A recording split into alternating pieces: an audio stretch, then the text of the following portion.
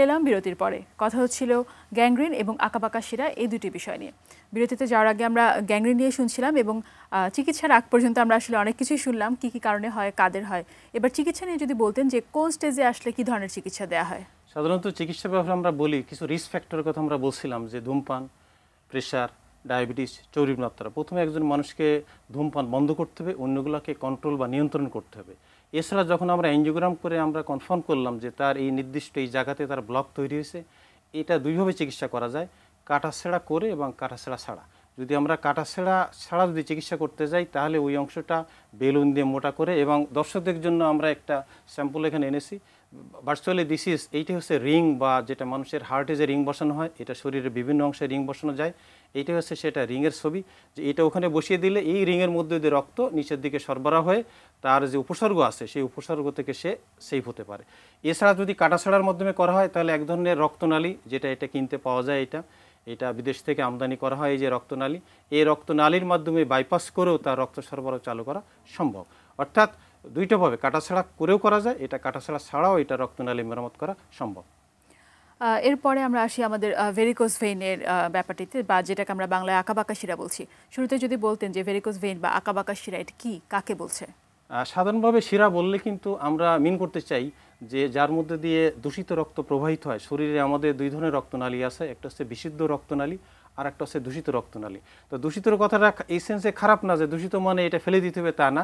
এটা শরীরের একটা বায়োলজি যেখানে বিশুদ্ধ এবং দূষিত রক্ত থাকে। হার্ট পাম্প করলে রক্ত সারা শরীরে অঙ্গ প্রত্যঙ্গে পৌঁছে যায় এবং শিরার মাধ্যমে এটা হার্টে ব্যাক করে।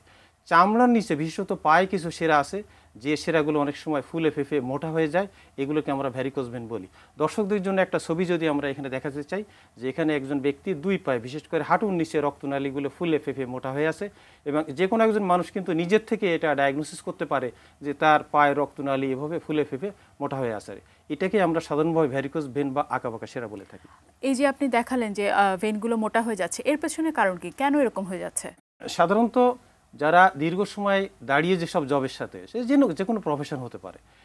তাদের এটা হওয়ার একটা সম্ভাবনা থাকে। নট দ্যাট যে দাঁড়িয়ে কাজ করলে হবে, জন্মগতভাবে যাদের এটা হওয়ার টেন্ডেন্সি আছে, যাদের শিরার গায়ে দুর্বলতা আছে, শিরার মধ্যে এক ধরনের ভাল্ব থাকে ভাল্বে উইকনেস আছে, এই ধরনের ব্যক্তিরা যদি প্রফেশনালি কোনো লং স্ট্যান্ডিং জবের সঙ্গে দীর্ঘ সময় দাঁড়িয়ে থাকে, এর সঙ্গে অভ্যস্ত হয়, তাহলে ধীরে ধীরে দেখা যায় যে এই শিরাগুলো আস্তে আস্তে ফুলে মোটা হতে থাকে এবং এটাই ভ্যারিকোজ ভেন তবে বেশিরভাগ ক্ষেত্রে এটা মানুষ অনেক সময় ইগনোর করে সিমটম হয় না কিন্তু অনেকেরই এটা সিমটম ডেভেলপ করে তখন এটার জন্য একটা ট্রিটমেন্টের জন্য মানুষ চিকিৎসকের স্বর্ণাপন্ন হয়। এই যে ভেরিকোজ ভেনের কথা আপনি বলছেন এই রোগের ক্ষেত্রে উপসর্গ শুধুমাত্র কি এই যে যেটা দেখা গেল যে ভেনগুলো মোটা হয়ে গিয়েছে আঁকাবাঁকা হয়ে গিয়েছে এটাই কি উপসর্গ নাকি আর কোনো উপসর্গ আছে? সাধারণভাবে তাহলে এটা দেখা যাবে যে ব্যক্তি ওটা দেখেই একটা ডায়াগনোসিস যে না একজন সাধারণ মানুষ ডাক্তার বুঝতে পারে যে না তার চামড়া নিচে সেরাগুলো আর পাঁচজন মানুষের মতো না। আরও একটা কথা বলে রাখি, অনেক সময় একই ফ্যামিলিতে মাল্টিপল পার্সনের কিন্তু এটা হওয়ার সম্ভাবনা থাকে। কারণ হচ্ছে যে জন্মগতভাবে এটা হওয়ার টেন্ডেন্সি থাকে। দুই হচ্ছে যে, একটা হচ্ছে কসমেটিক সমস্যা। কেউ মনে করল যে, না, আমার কাপড়ের নিচ- এটা আছে। কোনো উপসর্গ নাই, কিন্তু এটা কসমেটিক প্রবলেম সুতরাং এটা একটা উপসর্গ যে, এটা কসমেটিক সমস্যা। এছাড়া যে উপসর্গগুলো হয়, যখন লং স্ট্যান্ডিং হতে হতে একসময় তার আস্তে আস্তে পাটা ফুলে যেতে থাকে। দীর্ঘক্ষণ দাঁড়িয়ে থাকলে তার যে জুতারা পায়ে দিলে, জুতাটা টাইট হয়ে যায়। তারপর একসময় দেখা যায় যে, তার চামড়া এখানে কালো হতে থাকে। চামড়া পুরু হয়ে যেতে থাকে, চামড়া শক্ত হয়ে যেতে থাকে। একসময় দেখা যায় যে ওই আক্রান্ত স্থানের যে চামড়া, সেখানে একটা আলসার ডেভেলপ করছে, একটা নন হিলিং আলসার অর্থাৎ দীর্ঘই একটা আলসার এর আগে সে জুতা পায়ে দিত, মোজা পায়ে দিত, এখন আর জুতা মোজা পায়ে দিতে পারে না, যেহেতু একটা আলসার থেকে ওখানে সার্বক্ষণিক রস নির্গত হতে থাকে। কখনো কখনো দেখা গেছে যে আরও অ্যাডভান্স স্টেজে ইনফেকশন হয়ে কখনো আরও কোনো একটা জায়গাতে গ্যাংগ্রিন পর্যন্ত পৌঁছে চলে যেতে পারে আর কি।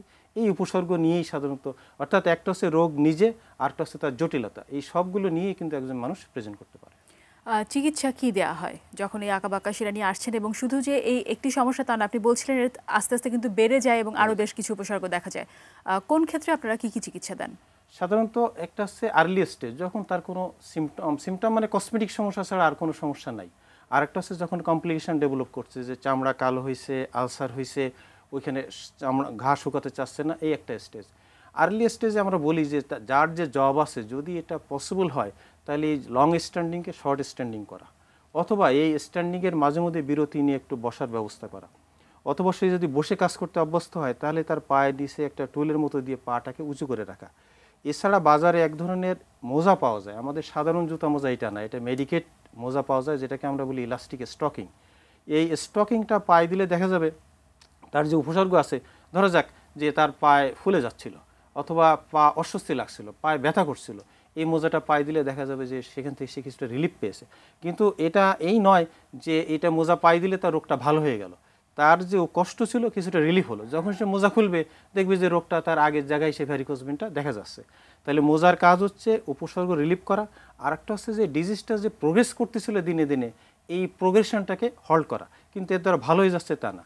এর পরবর্তীতে যে আমরা কিছু পরীক্ষা নিরীক্ষা, যেটা আমরা করি যে রক্তনালীরও কম্পিউটার বা আল্ট্রাসাউন্ড পরীক্ষা আছে ডুপ্লেক্স পরীক্ষা। এই ডুপ্লেক্স পরীক্ষার মাধ্যমে এই চামড়া নিচে সেরা তো মোটা এটা আমরা দেখতেই পাচ্ছি, দেখে ডায়াগনোসিস কিন্তু গোষ্ঠের গভীরে আরও এক সেট শিরা আছে। এই শিরাগুলোর মধ্যে কোনো এই ধরনের রোগ আছে কি না এটা ডিটেক্ট করা যায়, করে তারপর একটা ট্রিটমেন্ট প্ল্যান করা হয়। সেই ট্রিটমেন্ট প্ল্যানের অংশ হিসাবে আক্রান্ত শিরাগুলো আমাদের দেশে দীর্ঘদিন একটা প্রচলন ছিল যে এগুলো সাধারণত কাটাছেড়া করে এগুলো চিকিৎসা করা হতো। কিন্তু এখন কিন্তু আমরা কাটাছাড়া করে চিকিৎসা করি, কিন্তু আধুনিককালে যুক্ত হয়েছে না, এটা কাটাছাড়া অন্য অন্য সব সাবজেক্টের মতো, যে কাটাছাড়া না করে এটা লেজার বা আরএফের মাধ্যমে এটাকে চিকিৎসা করা। লেজার বা আরএফ এর মাধ্যমে যেটা করা হয়, এখানে আমরা একটা ছবি দেখাই। যে ছবিতে এই এখানে একটা লেজার মেশিন দেখা যাচ্ছে।